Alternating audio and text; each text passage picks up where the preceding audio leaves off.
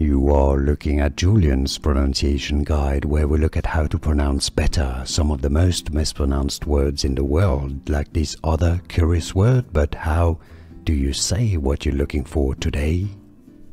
We are looking at how to pronounce this word, as well as how to say more confusing vocabulary. In English, how do you say it?